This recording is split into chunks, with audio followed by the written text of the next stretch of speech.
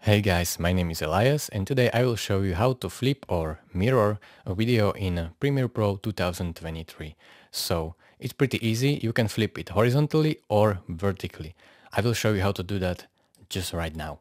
So go to the effects panel and the search box. If you cannot find effects panel, go to window and click on effects right here. Go to the search window and type flip. As you can see, horizontal flip and vertical flip effects has appeared. So if you want to flip horizontally, just click and drag and drop it on this video.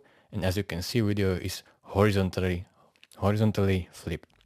I will click Command Z to get the effect back and show you vertical flip. And as you can see, it's vertically flipped. Is really that easy, guys. Thank you for watching. If you want to see more or have some questions, type them down in the comment and see you next time. Bye.